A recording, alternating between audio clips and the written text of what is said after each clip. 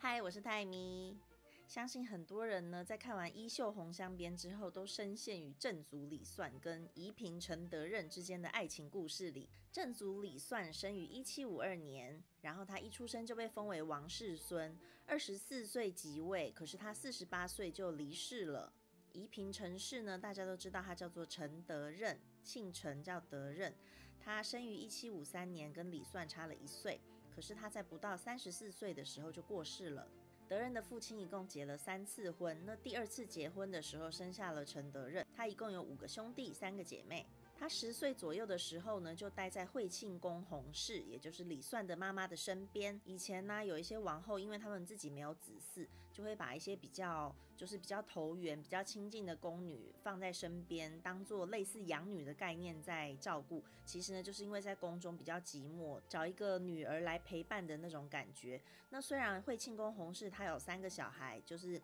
李算、青眼公主跟清玄公主三个小孩，可是呢，因为那时候李算跟他住在不同的宫里，然后青眼公主跟清玄公主两个又已经结婚出嫁了，不能够常常来看妈妈，所以人们都推测呢，因为德任跟他的三个小孩年纪都差不多，所以呢，就是把他放在身边带着。那德任的身份是中人，不是最低阶的身份，所以应该不是做粗活，可能就是做一些比较高等一点的工作。那也有很多人说，就是惠庆宫真的是把她当成养女在对待，对她非常的好。在一七六六年，也就是李算满十四岁。德任十三岁的时候呢，李算就对德任下了第一次的承恩的旨。可是那时候德任哭着说：“就是世孙平都还没有小孩，我怎么可以承恩呢？”他那时候拒绝李算下的旨，而李算也听了他的。那在一七七九年的时候，也就是李算即位三年，二十七岁的时候，那时候孝义王后仍然没有孩子。洪国荣的妹妹元平洪氏在前一年，也就是一七七八年被减责入宫，可是她在一七七九年就死亡了。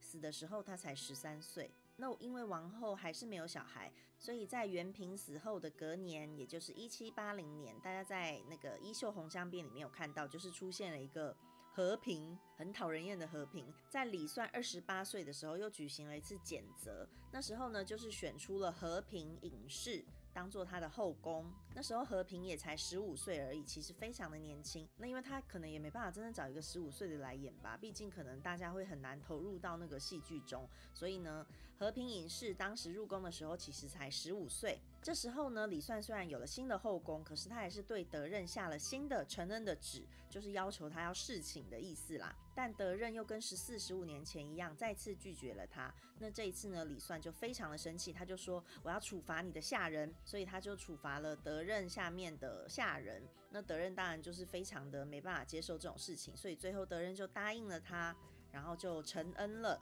那承恩后呢，他就变成了承恩上宫。也就是正五品的上仪，因为承恩后身份整个变得不一样，虽然还不是后宫，但是已经是上宫之中的最高等正五品。那我们就先来介绍一下承恩上宫好了。承恩上宫呢，就是一个。当宫女被王临幸之后呢，直接升的一个位阶，她并不需要经过任何的册封仪式，就是当你只要被承恩过，隔天你就会直接变成承恩上宫。承恩上宫会配有自己的住所跟下人服侍，因为在某种层面上，你其实已经算是后宫了，只是你的身份还是宫女，宫女之中的最高等正五品。那如果你一辈子都没有怀孕，你就是一辈子都当承恩上宫；但是当你怀孕的话，你就可以变成后宫。所以说，如果承恩上宫怀孕的话，就可以拿到叠纸，然后正式变成后宫。可是呢，如果你一直都只有生女儿，那你就身份只能停留在从四品的淑媛，也就是后宫的最低阶。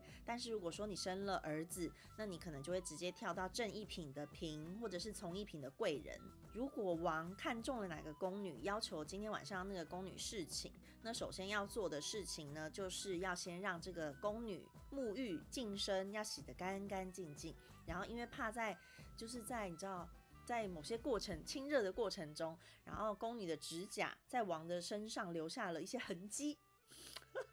所以呢，就要把手指甲跟脚趾甲全部都磨平，就是磨的让你不会刮到龙体。之后呢，要进到王的寝殿之前，就是要把衣服全部都脱掉检查，怕有一些人其实是对王就是有加害之心，然后会在衣服里面藏着凶器什么的，所以最后是要光着衣服，只会让你带着一条。不还是手帕的进到寝殿。那当一个宫女侍寝过后呢，她必须要在王起床之前，你就要离开。那那时候王的寝殿里面会先备好，就是宫女穿的宫女服。当你起床之后，你就是自己去找到那宫女服，把它穿上。可是呢，外裙的部分就是反穿，就是表示你已经承恩过了。接下来说说在剧里面非常讨人厌的和平隐士。那基本上和平隐士呢，他一入宫就是五品的后宫，无不是不是五哦，是没有的无，没有品阶，所以其实她是非常高阶的。然后呢，她进去九个月就怀孕了，所以大家都觉得她以后就是要走花路，因为品阶高，家世显赫，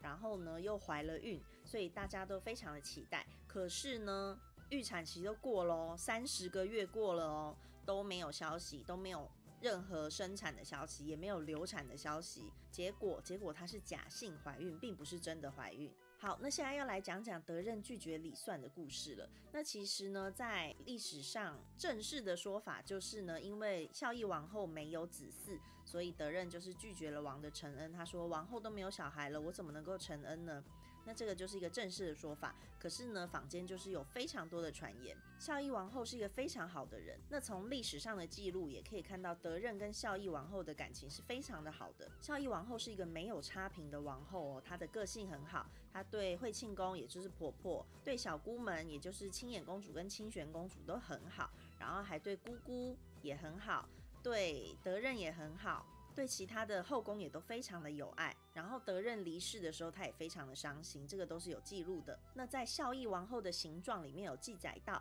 孝义王后在中宫待了二十四年，也就是当了二十四年的皇后，然后呢，在大妃殿，也就是东朝，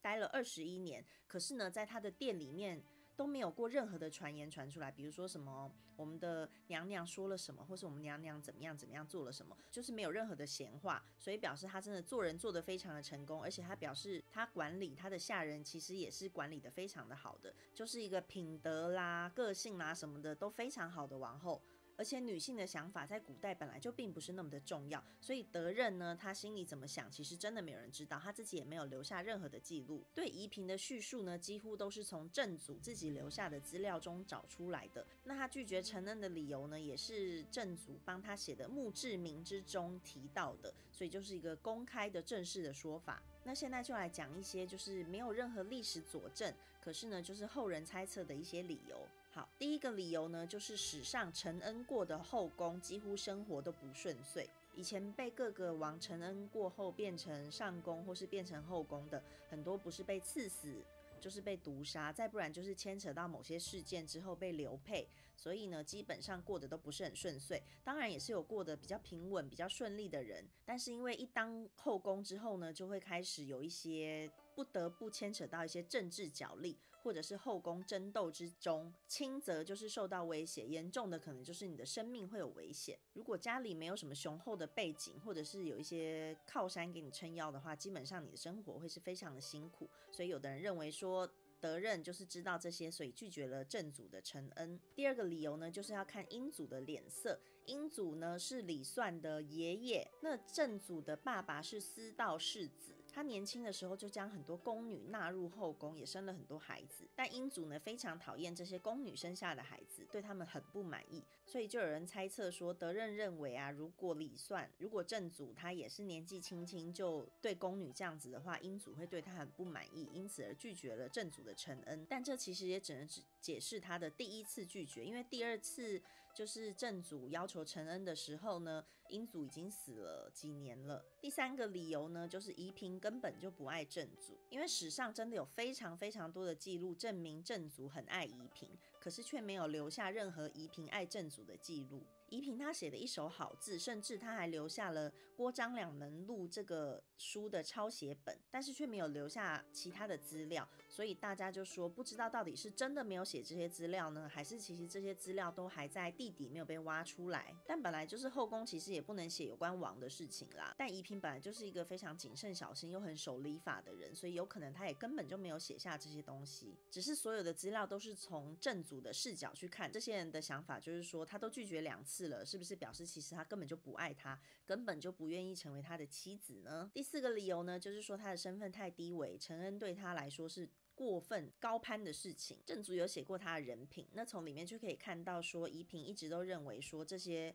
高规格的待遇不是他应该得的，他就是一个做事小心谨慎的一个人。所以呢，很多人就会认为说，其实他就是觉得自己不应该得到这个恩宠。第五个理由呢，宫女的生活对他来说比后宫的生活还要好。她是中人出身的宫女，那就像前面讲的，她是以几乎是惠庆宫的养女的身份，所以呢，受到很多疼爱，跟其他宫女啊，还有像正祖的妹妹们感情也非常的好。她可以自由的跟同事们一起玩，甚至宫女放假的时候，她也可以出宫去玩。可是呢，如果一当后宫，这些自由就是全部都没有了，就跟在戏里面一样。德任不想要失去这些东西，所以他也一直都不想要当李算的后宫。当了后宫之后，当然就是会有很多限制，也会有非常多的权力斗争。这些我想他自己一定也知道。那他在当宫女的时候，可能身份都算是蛮高的。可是呢，当变成后宫的话，他的身份就会矮人家很大一截。所以有人推测说，他其实并不想要当后宫，是因为这个原因。第六个理由。呢，有的人认为他并不是拒绝正祖，而是拒绝承恩这件事情。历史记录里面呢，有说到宜嫔的身体并不是很好，她在后宫只有七八年的时间，可是她怀孕了五次。在黄应熙的《遗斋乱稿》里面就有提到，宜嫔陈氏她在一七八零跟一七八一年这两年间流产了两次，然后之后第三次怀孕的时候才生下了文孝世子。那当后宫啊，其实怀孕之后你就不可能拥有之前的交友圈，因为你的身体你怀的是龙种，当然你就需要非常多的照顾跟保护，你就不能随意的像以前一样自由自在，想必压力也是很大的。而且以前的医疗又没有那么发达，因为怀孕生产的过程身体不适啦、死亡啦，或者是你产后没有做好月子的话，都有可能是对你的身体有很大的影响。而且因为德任的妈妈在他很小的时候就去世了，所以有的人就猜测说他的妈妈有可能就是因为产后调理不好，身体不好，所以就因此而去世。那德任看到妈妈。这个样子自然也会有一点恐惧跟抗拒，就是对于怀孕生产这件事情。第七个理由，有的人说呢，第一次虽然德任拒绝了正祖的承恩，可是呢，第二次他其实没有拒绝，只是呢，在那个时代，因为后宫也是政治的一环，在正祖之前的时代呢，就有一些承恩后宫，他们就是后来卷入了一些政治事件，然后下场并不是很好。那前面有讲到呢，德任他第二次会接受正祖的要求，是因为正祖责罚他的下。人，但是史料中并没有写说到底是罚了什么让他同意，所以有人说呢，正祖就是因为看过以前的后宫那些惨状，所以故意说德任对中殿其实非常的忠心啦，他完全没有想要当后宫啦，不想要卷入这些政治事事件啦，其实就是想要避免让。德任遭受到危险。第八个理由，有人说呢，因为他一直以惠庆宫的养女身份生活着，所以在某种层面上，正祖呢就像他的哥哥一样，干哥哥，就像他们就像干哥干妹的概念一样，所以他真的承恩的话是有违伦理纲常的。但是呢，其实，在宜嫔跟正祖两个人的视角来看，其实他们两个从来就没有以兄妹的身份生活过，所以正祖可能就是一看到他，就是把他当做一个女人来看待。但是在惠庆宫的视角就不是这样了，一个是自己的儿子，一个是自己的养女，所以呢，就有人讲说他是因为惠庆宫的关系，所以不愿意承恩。第九个理由，也就是算是正式的理由啦，也是大家最接受的理由，就是因为孝义王后一直都没有子嗣，所以呢，德任就是认为他不可以接受承恩。因为他为了要守着与孝义王后之间的义理，那因为德任跟孝义王后的感情一直非常的好，所以大家认为这个理由很充分。但其实惠庆宫弘氏呢，为什么会把德任带在身边，又为什么会把他送入宫中，这个就其实没有人真的知道背后的原因。总之呢，在她流产过两次之后，在第三次。怀孕，终于她在一七八二年生下了文孝世子。那生下文孝世子的当天呢，她直接被生成了正三品的昭容。一七八二年的年底，在她的儿子出生不到一百天就被封为元子。一七八三年呢。德任正式被封为正一品的仪嫔。当时呢，左翼正跟右翼正